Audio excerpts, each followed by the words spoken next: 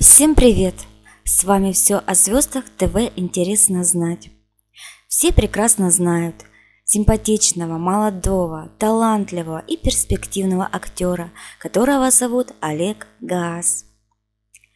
Прекрасная половина зрительской аудитории очень часто задают вопросы о его личной жизни. Более подробно о его личной жизни вы узнаете из этого ролика – Олег решил стать актером еще в девятом классе. Он был в летнем лагере и там впервые оказался на сцене. Ребята готовили самодеятельные концерты, капустники, и парень впервые почувствовал, вот оно, то, чем он хотел бы заниматься всю свою жизнь.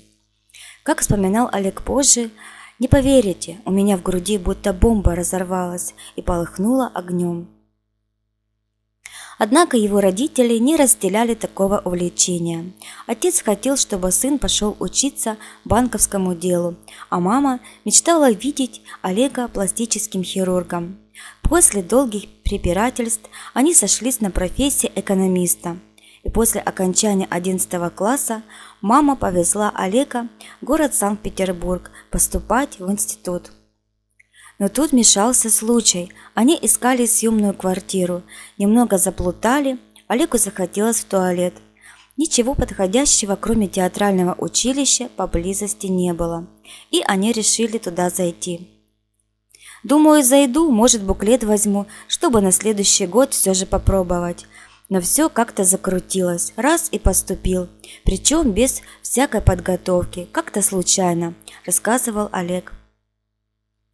Так он стал студентом СПБ ГАТИ, и на четвертом курсе состоялся его дебют в кино.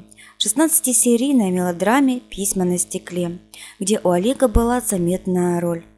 Его игру оценили, и уже на следующий год ему доверили главную роль в комедии «Полное превращение». А после получения диплома пригласили сразу всем кинопроектов – том числе на роли главных героев такие фильмы, как «Нити судьбы» и «Любимая учительница», которые принесли Олегу широкую известность, любовь зрителей и, конечно же, узнаваемость. Примерно тогда же его стали преследовать слухи о многочисленных романах с коллегами по съемочным площадкам. В «Любимой учительнице» это были Анна Адамович и Анастасия Шульга – Появились даже статьи о том, что на последней он женился. Кстати, с Анной Адамович они вместе снимались также в сериале «Нити судьбы». Если вы не видели этот прекрасный фильм, всем советую посмотреть. Там такой просто бомбический актерский состав. После слухов о свадьбе свадебных фотографий так никто и не увидел. Вскоре появилась информация, что у Олега во время съемок «Нити судьбы» возникли отношения с актрисой Евгенией Розановой. Сами актеры очень долго скрывали этот факт. Но недавно Олег все-таки рассказал общественности, что с Евгенией они давно живут вместе. Пара планирует пожениться и, конечно же, обзавестись детьми. Как говорит Олег, живем вместе, снимаем жилье, планируем пожениться и родить детей. Евгения немножко старше меня, как и моя мама была немного старше отца.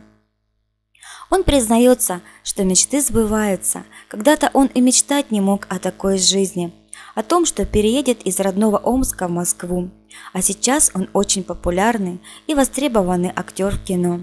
Также состоит в трупе главного театра страны МХАТ имени Чехова. Живет с одной из лучших девушек, которую называют королевой. Они много путешествуют. На новогодние праздники молодые люди отдыхали в Турции, осмотрели Стамбул, а потом отправились на юг, в Аланию, которая славится изумительными песчаными пляжами.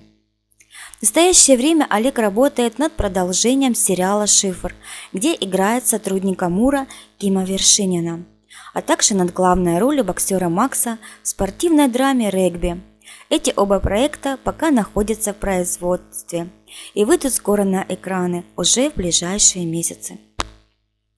Желаю Олегу побольше новых интересных ролей и всего самого наилучшего. И вам, дорогие мои, желаю тоже всего самого наилучшего и всего доброго. Спасибо огромное за внимание. Всем удачи, любви, счастья, добра и мира. Берегите себя и своих близких.